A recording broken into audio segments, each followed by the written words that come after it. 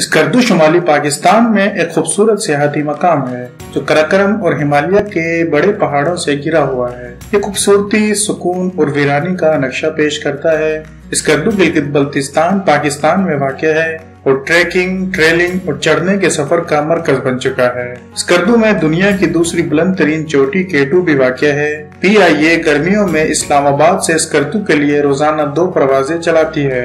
शदीद बर्फबारी की वजह से स्कर्दू सर्दियों के दिनों में बंद ही रहता है। आज हम आपको स्कर्दू के 10 सियाती मकाम के बारे में बताएँगे। उससे पहले अगर आपने मेरा चैनल सब्सक्राइब नहीं किया तो चैनल को सब्सक्राइब कर लें और बेल आइकन को प्रेस कर लें ताकि आपको हर नई आने वाली वीडियो की अपडेट बर वक्त मिल सके। तो चलिए शुरू करते हैं आज की वीडियो ब्लाइंड लेक ये झील एक पेनारोमिक झील है जो वादी शिगर के करीब स्कर्दू शहर से एक घंटे की दूरी पर वाक़ है। ये झील वादी शिगर के रास्ते में वाक़ है। इसे मकामी जबान में झरबसू कहा जाता है, यानी ब्लाइंड इस झील को ब्लाइंड लेक इसलिए कहा जाता है क्योंकि किसी को भी नहीं पता कि इस झील में पानी कहाँ से आता है और कहाँ जाता है। ये झील एक तरफ़ से दरिया और दूसरी तरफ़ से दरिया शिगर से घिरा हुआ है। जो इस झील की इम्पोर्टेंस को चार चाँद लगा देता है और इसके नजारे को भी बढ़ा देता है। स्कर्दू फोर्ट, या खारपूचो फोर्ट, ये किला मैन सिकर्दू शहर के चोटी पर वाक़ है। कारपूचो का मतलब है किलो का बादशाह। ये किला सोलहवीं सदी के आखिर में शाह अली शेर खान अंचन ने तामीर किया था। महाराजा गुलाब सिंह के मातहत काम करने वाले डोगरा राजपूत कबीले के जनरल जोरावर सिंह को जब कस्बे में किले की अहमियत का एहसास हुआ तो उसने इस किले पर कब्जा कर लिया। अठारह सौ सतावन में रणबीर सिंह की रहनुमाई में किले को ज़मीन बोझ कर दिया गया था। मुगल बादशाह औरंगज़ेब ने भी किले पर कब्जा करने की कोशिश की, जो बेकार हुई। ये किला इस शहर में एक नुमाया संग मील है। आप जब भी स्कर्दू जाएँ तो स्कर्दू फोर्ट को ज़रूर विज़िट करें। Khaplu valley fort. ये वादी कपल है जो दिलकश मनाजिर का हामिल है।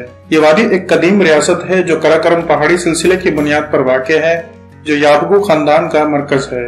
मजीद बरा, ये एक किले पर भी काबिज है जो अब एक म्यूज़ियम का काम करता है और सियाहों की तवज्जो हासिल करता है। कोई भी आँख इन ख्याल की रोशनी में इंसाफ नहीं कर सकती। सबसे बढ़कर, जीप की सवारी आपके सफ़र में मजीद मोड़ डालती है और आपको दिलकश नज़ारा पेश करती है। कचूरा लेक इस कद्दू को बहुत सारी तेज धार झीलों से नवाजा गया है, जो आने वाले पर जादू कर देती है। इस तनाजर में बलाई कचूरा झील इस कद्दू की सबसे हैरत अंगेज झील है। इस झील के पस मंजर में घने गहरे जंगलात और हिमालय के बड़े पहाड़ों से गिरा हुआ है। कोई भी इस झील की एक नज़र भी नहीं छोड़ना चाहता। सयाह वहाँ पर सुकून के वक्त घंटे गुजार सकता है और ट्राउट फ़िश और बोटिंग से लुत्फ अंदोज हो सकता है। राफ्टिंग के साथ साथ इसके जमर्द के सब्ज पानी में भी लुत्फ अंदोज हो सकता है।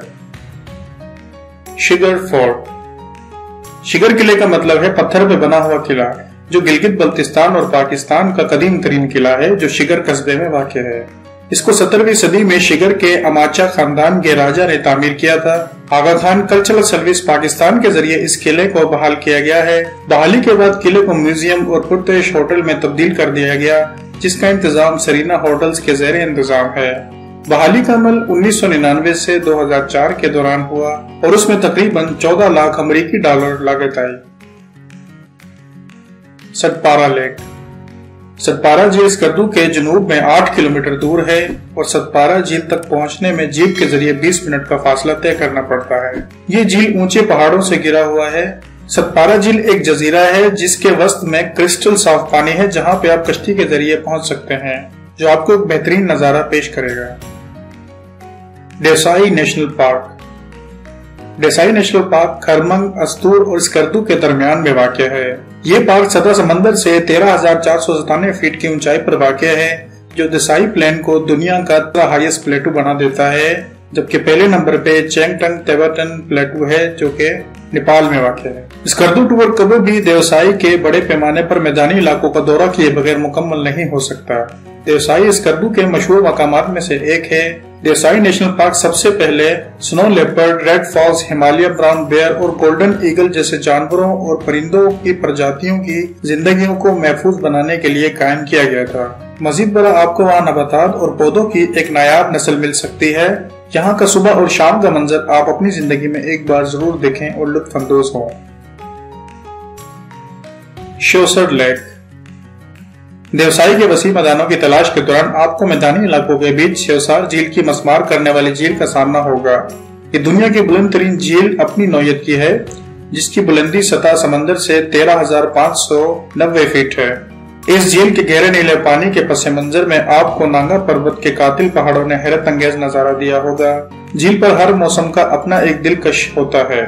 सर्दियों में जमी हुई झील मौसम गर्मा में मुतद रंगों को बिखरते हुए सियाहों की तवज्जा का मरकज बन जाती है। Katpana desert and lake. Katpana झील स्कर्दू शहर से 10 मिनट की सफ़र पर वाक़ है और स्कर्दू का सबसे खूबसूरत सहरा है। ये वो जगह है जहाँ आप दूसरे सहराओं की तरह गर्मी से खौफजदा नहीं होते। कटपना झील और सहरा की खूबसूरती देखने लायक है। आप जब भी स्कर्दू जाएँ तो कटपना झील और सहरा को ज़रूर विज़िट करें। बाशु वैली। ये जगह मरकजी शहर स्कर्दू से तकरीबन दो घंटे की मुसाफत पर वाक़ है, जहाँ आप आसानी से जीप के ज़रिए पहुँच सकते हैं। गर्मी में भी वादी खुशगवार माहौल पेश करती है। बड़े सब्ज मैदानी इलाकों और नदियों की वजह से यहाँ पर साइड कैंपिंग, पैदल सफ़र के लिए बेहतरीन समझा जाता है। रात के वक्त मौसम सर्द होने के साथ ही वादी हैरत ज़्यादा हो जाती है और देखने वाले अपने सर के ऊपर हज़ारों सितारों का मुशाह कर सकते हैं। ये आज के हमारे इस कद्दू के वो दस मकाम जहाँ पे आप घूम कर लुत्फ अंदोज हो सकते हैं और ये इस कद्दू में सबसे मशहूर समझे जाते हैं। अगर आपको वीडियो पसंद आई है तो इस वीडियो को लाइक करें और कमेंट करके ज़रूर बताएँ कि आपको वीडियो कैसी लगी। और आपने अब तक चैनल को सब्सक्राइब नहीं किया तो चैनल को सब्सक्राइब कर लें और बेलाइकन भी प्रेस कर लें। शुक्रिया।